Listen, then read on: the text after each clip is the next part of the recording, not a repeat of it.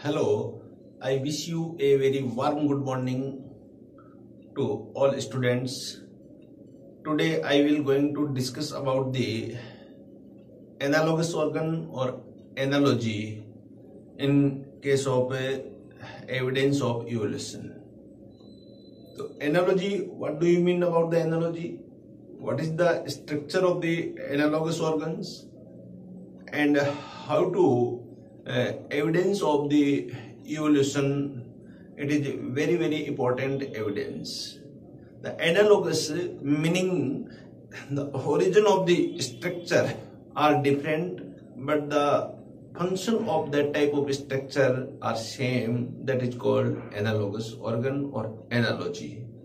The analogy or analogous organs are developed by the convergent evolutions. The evolution is divided into, into two types. First is a divergent evolution, second is convergent evolution. Divergent evolution describe the homology or homologous organ, then the analogous organ or analogy are described the uh, described by the uh, convergent evolution. Convergent evolution meaning when the different different organism from different uh, geographical conditions come uh, in a same geographical area.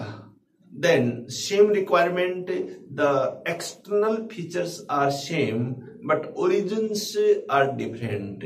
So same functions occur by that type of uh, organism structures organs that is called analogous organ and that study known as the analogy तो okay okay बच्चों हम इस प्रकार से analogy को बहुत अच्छी तरह अंडरस्टैंड कर सकते हैं कि किस प्रकार से एनालॉजी यहाँ पर एविडेंस के रूप में यहाँ शो हो रही है। इवोल्यूशन का एविडेंस है, बहुत ही अच्छा एविडेंस है homology and analogy homology we will we were already discuss in the previous lecture but today I will going to discuss the analogous organ and analogy तो बच्चों, आइए देखिए किस प्रकार से एनालॉजी ऑर्गन को हम यहाँ पर एनालॉगस और एनालॉजी को डिस्क्राइब कर सकते हैं। देखिए analogy what do you mean about the analogy it is a similarity in organ based on the similar function the organ which have different origin and dissimilar fundamental structure, but have similar function are called analogous organs. बच्चों, क्या कहना चाह रहा है ये? मान लो different different area है एक एरिया ए है, ये एरिया बी है, ये एरिया यहाँ पर सी है, ये एरिया यहाँ पर डी है डिफरेंट डिफरेंट जियोग्राफिकल कंडीशन है। A group of animal come into a same area, यहाँ पर एक ही एनवायरमेंट में यहाँ पर आ गए, या ये सभी डिफरेंट डिफरेंट स्पीशीज के एनिमल थे, यहाँ पर जोग्राफिकल एरिया था यहाँ यहाँ पर आ गए। सेम रिक्वायरमेंट के कारण इस एनिमल के अंदर सेम टाइप ऑफ़ स्ट्रक्चर का डेवलपमेंट हुआ और सेम स्ट्रक्चर डेवलपमेंट होने के कारण बच्चों, ये ऑर्गन है एक दूसरे के साथ में एनालोगस है। तो फ़ंक्शन तो यहाँ पर सेम है बट ओरिजिन यहाँ पर डिफरेंट डिफरेंट है। That is called analogous organ और analogy and that type of evolution is called convergent evolution convergent का मीनिंग यहाँ, दूर से ये एनिमल यहाँ ट्वार टू सेंटर पास में आ रहे हैं और एक नई स्पीशीज डेवलप कर रहे हैं। तो इस प्रकार की स्पीशीज को हम यहाँ पर एनालोगस स्पीशीज के नाम से भी जानते हैं। तो analogous helpful for the evolution and also helpful evidence of the evolution तो इस प्रकार बच्चों, आप एनालॉजी की डेफिनेशन यहाँ समझ सकते हो। तो डेफिनेशन सिंपल वर्ड में हम कहें यहाँ, दो वर्ड यहाँ पर काम आता है origin of the structure origin of the organ and a function of the organ तो यहाँ पर दो शब्दों में हम बात करें ओरिजिन है यहाँ पर different different different ancestor but function यहाँ पर है, कहेंगे ऑर्गन्स के फ़ंक्शन है, वो सेम टाइप के फ़ंक्शन है यहाँ। Origin different but function have a same है due to the structure is same so it's called analogous or analogous organs the example of the analogous organ what is the example of the analogous organ first is the wing of the bat and birds are analogous to wing of the insect यहाँ पर wing of the bat bat एक mammals है mammals के अंदर बच्चों, जो wing का development हुआ है, वो पटेजियम के मोडिफिकेशन से हुआ है। दोनों अंगुलियों के बीच में, दोनों प्लेंजेस के बीच में यहाँ स्किन का डेवलपमेंट हुआ, जिसे हम कहते हैं पटेजियम बर्ड्स के विंग है फोर आर्म की मॉडिफिकेशन से यहाँ पर बर्ड्स के अंदर विंग का डेवलपमेंट हुआ। तो यहाँ बेट और बर्ड्स दोनों एरियल एनिमल है। Analogous to wing of the insect insect के जो विंग है बच्चों ये यहाँ पर जो इंसेक्ट की बॉडी है, उसकी क्रिएटिनाइजेशन से यहाँ विंग का डेवलपमेंट हुआ। तो एक अलग प्रकार का डेवलपमेंट है ये। तो ये भी यहाँ फ़ंक्शन है। ये भी एरियल एनिमल है। एरियल एनिमल के लिए विंग चाहिए यहाँ फ़ंक्शन सेम है। यहाँ फ़्लाइट का फ़ंक्शन है। बर्ड्स के अंदर भी बेट के अंदर भी या इंसेक्ट के अंदर भी। बट तीनों के अंदर है, वो फ़्लाइट स्ट्रक्चर फ्लाइंग स्ट्रक्चर का डेवलपमेंट है वो डिफरेंट डिफरेंट तरीके से different different mode of way से हुआ है that is called analogous okay it is best example of the analogous then second is the pelvic fin of the fish flipper of the seal. Seal is a mammal और fish is Pisces पिशीज की animal है यहाँ पर. अब जो pelvic fin है pelvic girdle इसके अंदर जो होती है वहाँ पर जो फिन का डेवलपमेंट होता है, उसको कहेंगे पेल्विक फिन। और सील जो मेमल है, उसके अंदर है स्विम करने के लिए जो फ्लिपर्स होते हैं, ये दोनों एक दूसरे में फ़ंक्शन के बेस पे दोनों यहाँ पर फ़्लाइट का फ़ंक्शन करते हैं या स्विमिंग का फ़ंक्शन करते हैं। और ओरिजिन दोनों का यहाँ पर डिफरेंट डिफरेंट हुआ है। ये स्किन का मॉडिफिकेशन है तो पेल्विक फिन है यहाँ पर पेल्विक आर्म का यहाँ पर मॉडिफिकेशन है तो ये एक प्रकार का बेस्ट एग्जांपल है। ये यहाँ पर नीट के अंदर बच्चों पूछा जाता है कि the pelvic fin of the fish and flipper of the the example of the analogous organ then sting of bee and scorpion आप जानते हो बच्चों बी हनी बी जो है, उसके एबडोमिनल पार्ट में स्टिंग होता है, जो इसका प्रोटेक्टिव रीजन है। ऐसे ही आपने स्कॉर्पियोन बिच्छू देखा होगा। बिच्छू के बैक पोर्शन में जो एब्डोमिनल पार्ट है वहाँ पर भी एक, एक मुड़ा हुआ कांटे जैसी संरचना होती है जिसे हमें स्टिंग बोलते हैं। वो भी उसके अंदर प्रोटेक्टिव पार्ट है दोनों के अंदर। ओरिजिन डिफरेंट डिफरेंट है बट दोनों का ही यहाँ पर फ़ंक्शन एक ही है जंतु को प्रोटेक्ट करना फ्रॉम द एनिमीज और दोनों ही पॉइजन यहाँ पर रिलीज़ करते हैं तो इट इज़ एनालोगस ऑर्गन इसी प्रकार लीप के अंदर है फाइलोक्लेड यहाँ पर लीप है of the Ruscus and leaf तो ये दोनों बच्चों यहाँ पर एनालोगस ऑर्गन है। Then next structure chloragogen cell of the Pheretima and liver of the vertebrate Pheretima earthworm को हम बोलते हैं। अर्थम की जो शिलोम होती है, उसमें स्पेशल टाइप फैट बॉडी होती है। The fat body of the earthworm have a special type of cell that is called chlorogogan cell but does not found of the liver. The function of the liver take place in the chlorogogan cell but the origin of the chlorogogan cell and the liver are different mode of way. So called the origins are different in both structure but the function are same of the structures that is called analogous organ Chlorogogan cells of peritoneum and liver of the vertebrates are analogous organ. Then next is a hand of the man and the trunk of the elephant. Both are analogous. दोनों का origin different different है but हमारे जो हाथ काम करते हैं elephant के अंदर वो उसकी सूंड प्रोबोसिस या ट्रंक है उसी के द्वारा सब कार्य किए जाते हैं तो ये दोनों क्या है फ़ंक्शन दोनों का सेम है बट दोनों का ओरिजिन डिफरेंट डिफरेंट है तो यह एनालॉगस है पोटेटो एंड स्वीट पोटेटो ये दोनों एनालॉगस है। Eye of the octopus and eye of the mammals different in their the retinal position ये दोनों यहाँ पर एनालॉगस का एग्ज़ाम्पल है। देन फ़िश एंड हेल ये बच्चों दोनों एनालॉगस है।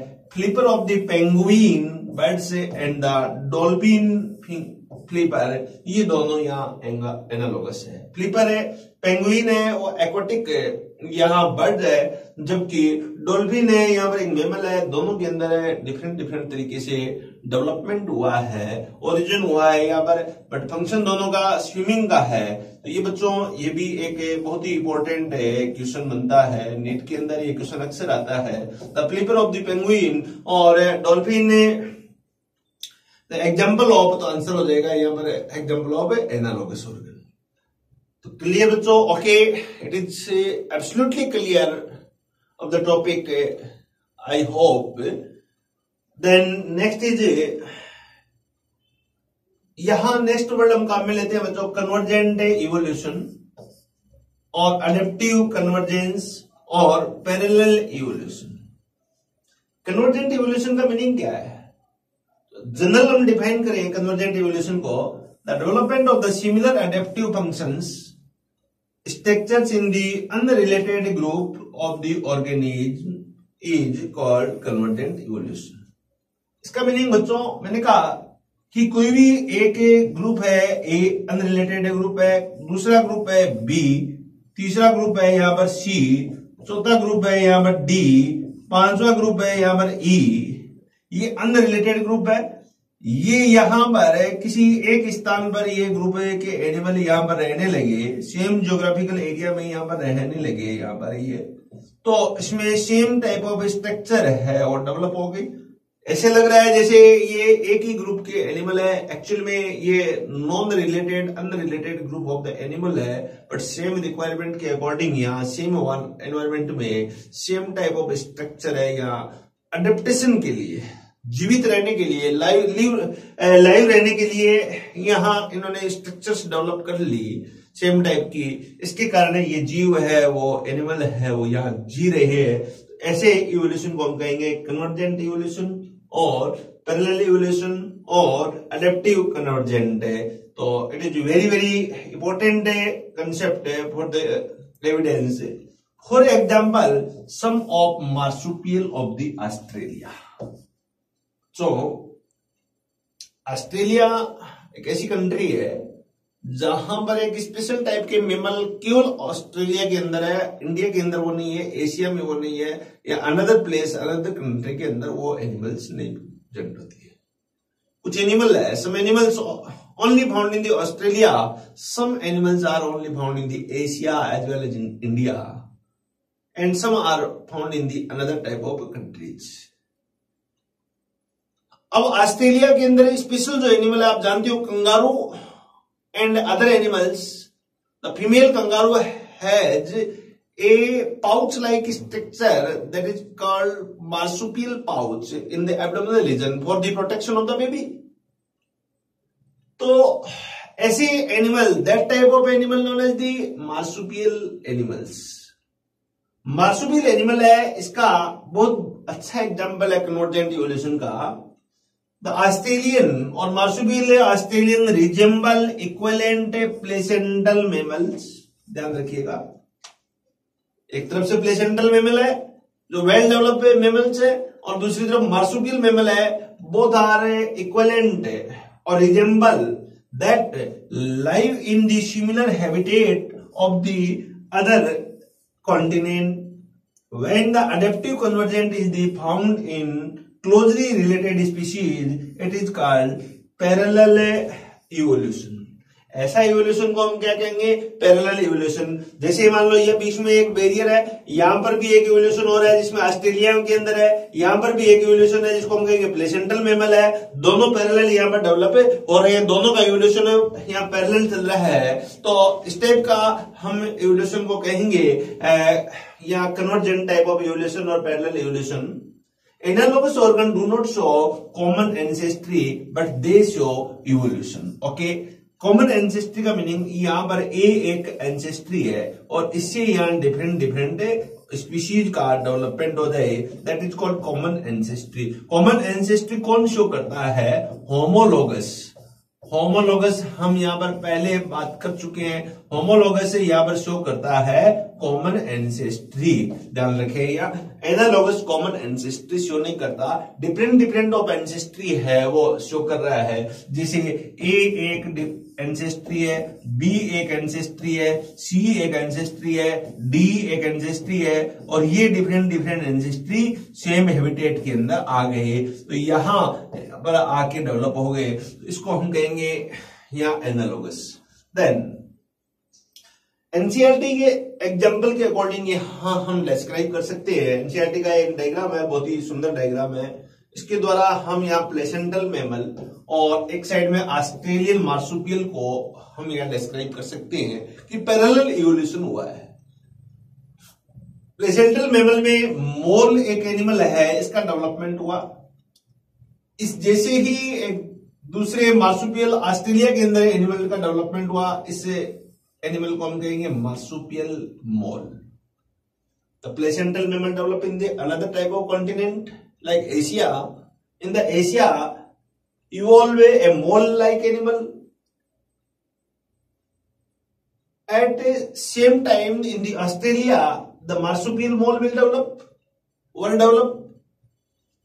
Then, anteater, in the Australia, numbate or numbate type anteater will develop. Then, the mouse will develop in Asia, then in Australian marsupial, the marsupial mouse were developed. Then the lemur dog-like animal were developed. Then in the Australia, the spotted cuscus were developed. तो बहुत parallel evolution parallel animal were develop at that time and flying squirrel is a placental mammal at that time the flying phalanger were develop in the Australia then the bobcat were develop in the Asia it is a placental mammal then in the Australia the Tasmanian tiger cat were develop and in the Asia, the wolf is a placental, most important placental mammal. At that time, similar mammal developed develop the Tasmania wolf. बच्चों इस प्रकार से एक यहाँ parallel evolution हुआ है और compare कर सकते हैं प्लेसेंटल मेमल और ऑस्ट्रेलियन मार्सुपियल के साथ में। बहुत ही इंपॉर्टेंट है यहाँ डायग्राम के साथ में मैंने यहाँ समझाने का प्रयास किया है। यहाँ से बच्चों क्वेश्चन आता है कि मोल जब डेवलप हुआ था mole is a placental mammal उस समय ऑस्ट्रेलिया के अंदर किस टाइप का एनिमल डेवलप हुआ? तो मार्सुपियल मोल कहेंगे यहाँ। वैसे यहाँ क्वेश्चन आता है जब अनटेटर का डेवलपमेंट हुआ था प्लेसेंटल अनटेटर तो मार्सुपिया के अंदर या नंबेट, यहाँ डेवलप हुई थी, नंबेट टाइप ऑफ़ एनिमल या नंबेट एनिमल इसको कहेंगे यहाँ। ऐसे यहाँ माउस का डेवलपमेंट हुआ तो मार्सुपियल माउस ऐसे यहाँ लेमर का लेमर का डेवलपमेंट हुआ तो स्पोटेड कस्कस है, उसका यहाँ डेवलपमेंट हुआ। तो ये कुछ एग्ज़ाम्पल के तौर पे हम यहाँ पर डेवलपमेंट बता सकते हैं। I hope you are clear understand absolutely understand about the analogous organ then we will also discuss the another type of the evidence of the evolution like vestigial organ connectic connecting link and another first is vestigial organ it is very very important evidence of the evolution What do you mean about the vestigial organ? Vestigial organ meaning in previous time, in ancestor time, some structures were developed in our body and another mammals. That structure, that type of structures are well activate. But after evolution, then the well developed human and another type of animal were developed but uh, some structure are non-functional in the latter. That type of non-functional structure are called vestigial organs. Okay? मैं जो बात कर रहा हूँ कि हमारे अंदर पहले हम एंसेस्टर थे तो बहुत सारी ऐसी स्ट्रक्चर है उनका डेवलपमेंट था हमारे एंसेस्टर के अंदर इसके डेवलपमेंट इवोल्यूशन हुआ और ये फंक्शनल स्ट्रक्चर थी लेकिन रिसेंटली मॉडर्न जो एनवायरमेंट है, उसके अकॉर्डिंग हम एनिमल में जो चेंजेस आए, उसके अकॉर्डिंग जो कुछ स्ट्रक्चर्स ऐसी है जो नॉन फंक्शनल हो गई बट स्ट्रक्चर प्रेजेंट है that is called vestigial organs like ear pinna muscles is a vestigial organs but in the lower animal the ear pinna muscles is a functional और ear pinna muscles is non functional as well as in the internal side of body The vermiform appendix is a vestigial organ in our body, but in our ancestors, the vermiform appendix were well developed and functional. Then another many type of organs also found the, as a vestigial organ like uh, in the human body. Totally हम study करें in the human body possess about uh, 180 vestigial organs. It is very very important question. How many vestigial organ reported in the human? Answer होगा यहाँ पर 180 vestigial organ are reported by the scientist in the human body. Some example of the vestigial organ in the human, the nictitating membrane. It is found in the eye, third eyelid, upper eyelid, lower eyelid, and third eyelid known as the nictitating membrane. In case of the human, the nictitating membrane, also known as plica semineloris. The muscles of the pinna, auricular muscles, also vestigial organ. The vermiform appendix is a vestigial organ. Coccyx is a vestigial organ. Then canine teeth also known as vestigial organ. The third molar, also known as vestigial or wisdom teeth, is a vestigial organ. And segmental muscles of the abdomen is a vestigial organ. Cecum, body hair, nipple in the male, ear pinna muscles, also vestigial organ. Then, next is the evidence of the connecting link. What do you mean about the connecting link?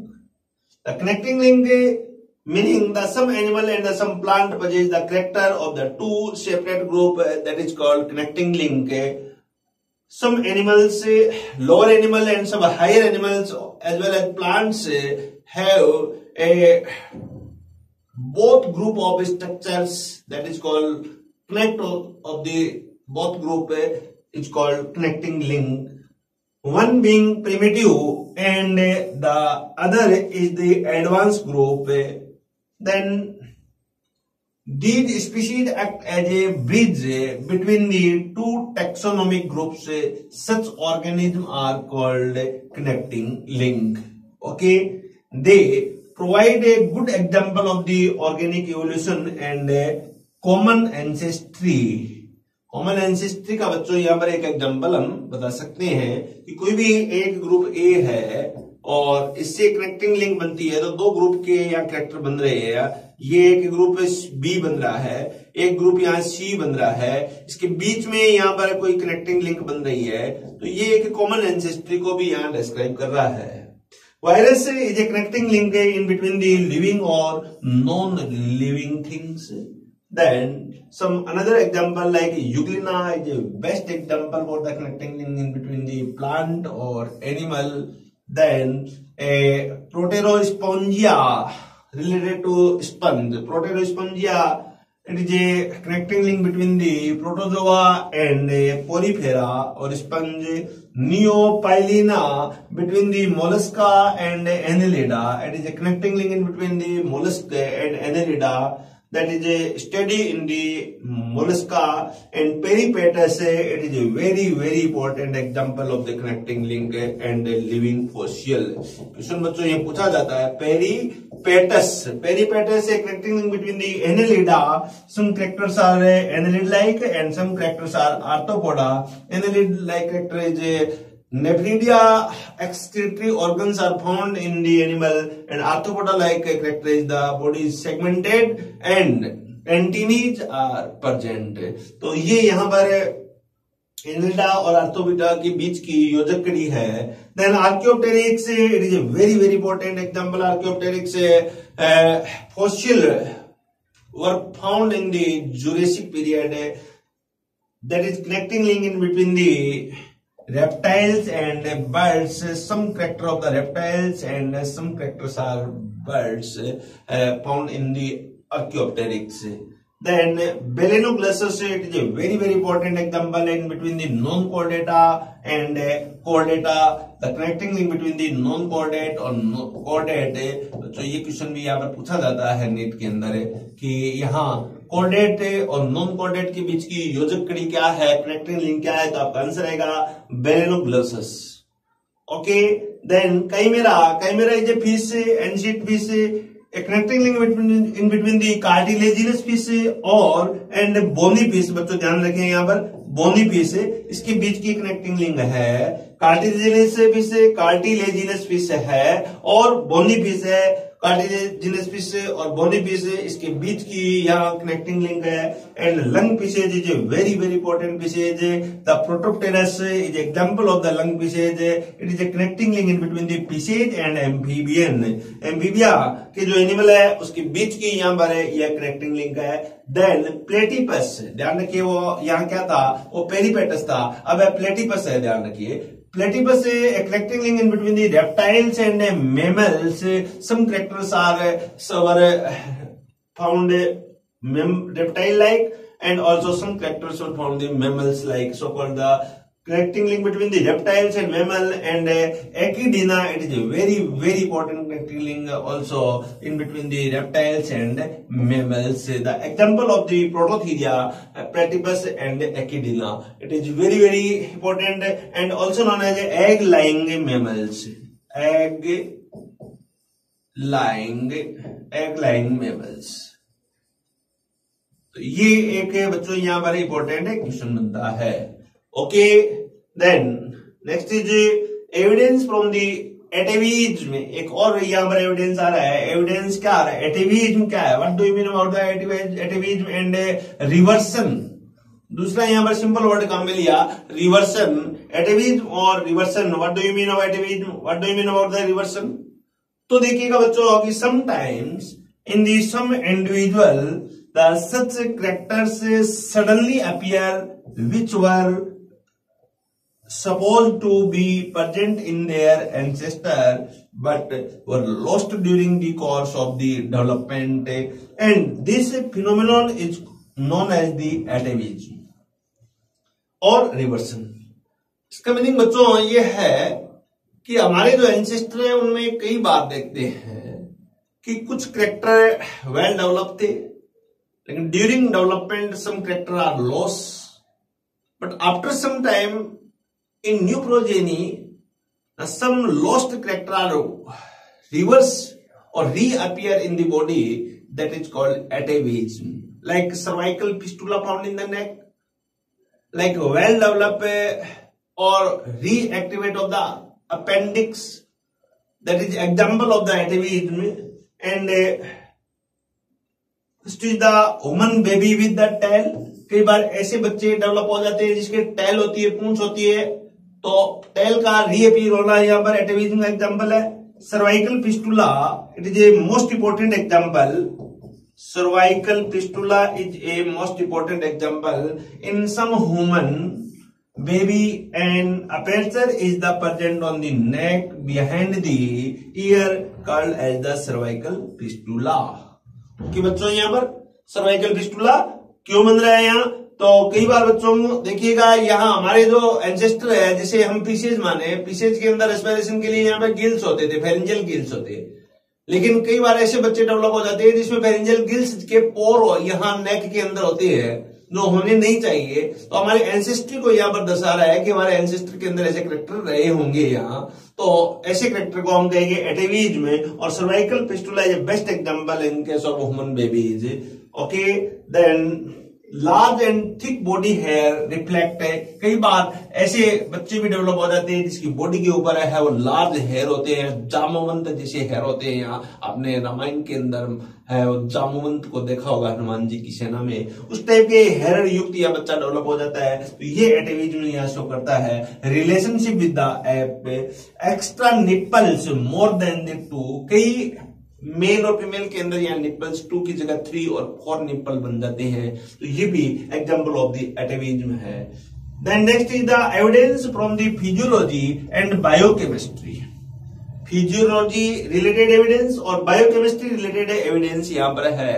Physiology का meaning different organism show similarity in physiology and biochemistry the some clear example are first is protoplasm structure and chemical composition of the protoplasm is the same from the protozoa to the mammal it is the example of the physiology and biochemistry And the next example is the enzyme like trypsin enzyme. Enzyme perform same function in the all animal like the trypsin digest protein from the amoeba to the main. It is a very very important example.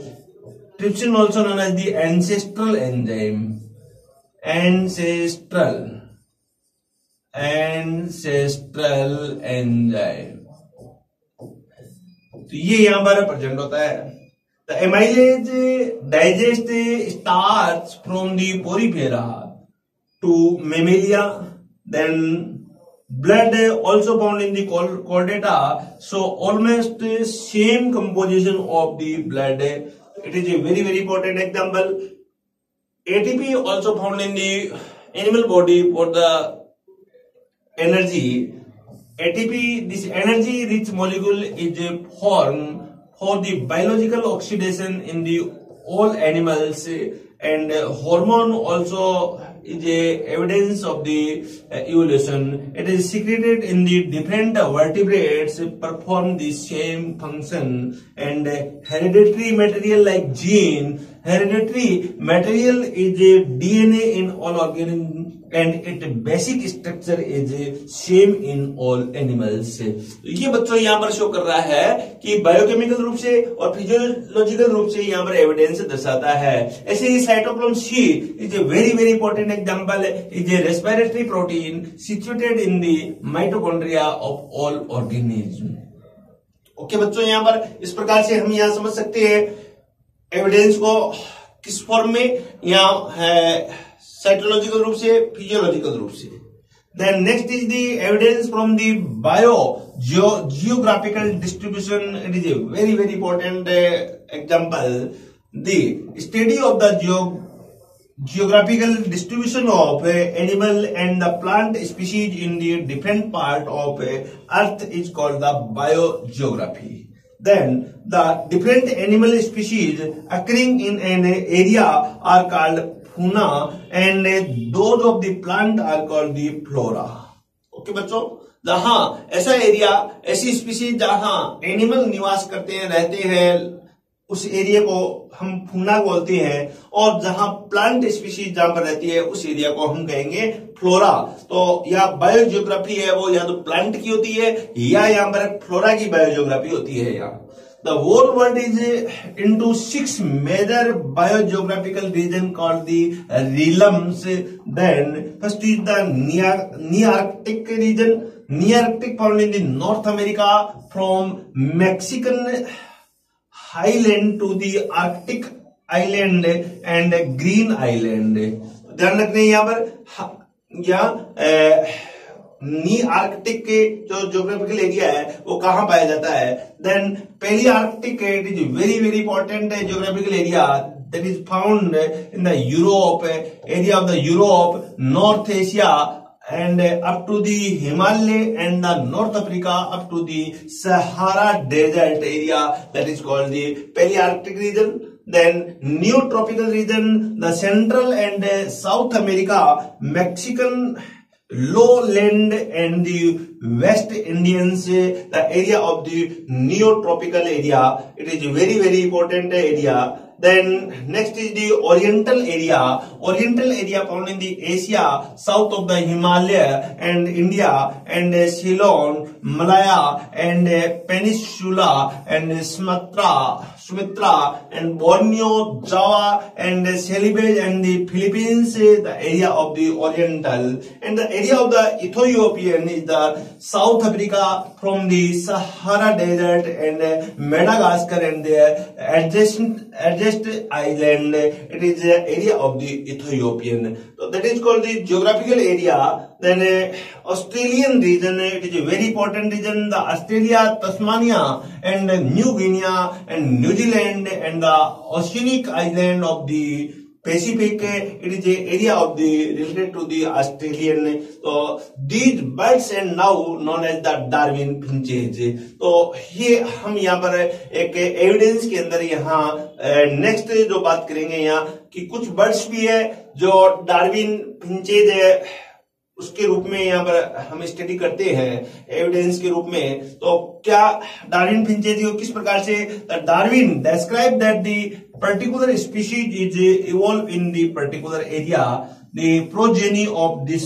species migrate to the different geographical area and are the gradually adapted to the changing environment condition okay बच्चों, यहाँ Darwin ने एक species को describe किया था that is called Darwin finches एक sparrow है।